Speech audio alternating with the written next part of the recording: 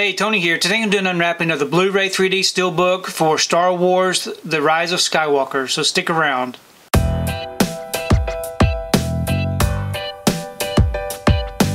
So today I wanted to take time to do an unwrapping of Star Wars The Rise of Skywalker. This right here is a 3D Blu-ray Steelbook that I got from Zavvi UK.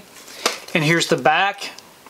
If you'd like to check out these special features, you can go ahead and pause and do so. I'm to go ahead and remove this from the wrapper and we can take a close look at this steelbook. Okay, I've got the wrapper off and the J card removed. Here's the front of the steelbook. It is a matte finish with a debossed title. Great looking artwork. Then here's the back. We open it up. We have our front and back together.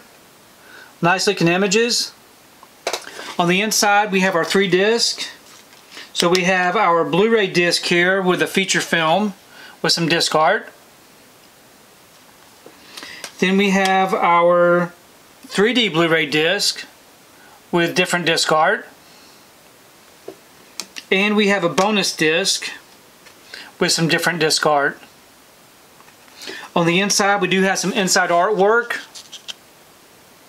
so overall, this is a really nice looking steelbook. So I'm really happy to have this one added to the collection. Now I did um, get the Zavvi exclusive with the 3D disc because I believe that was the only option that I had for the 3D version. So I'm very happy to have this one. I do believe that Best Buy had an exclusive with the same artwork, but I did decide to just get the 3D version from Zavvi. Please leave me a comment below. Let me know what you think about this particular steelbook unwrapping. And also let me know what you think about the film Star Wars The Rise of Skywalker because I really do enjoy reading your comments. If you like what you saw here today, please give it a thumbs up and share the video. You haven't subscribed to my channel, I really appreciate it if you'd subscribe. If you do subscribe, please remember to hit that notification bell so that you can be notified every time I upload a new video. If you haven't found me on my social media accounts, I'm on Instagram, TikTok, and on Twitter.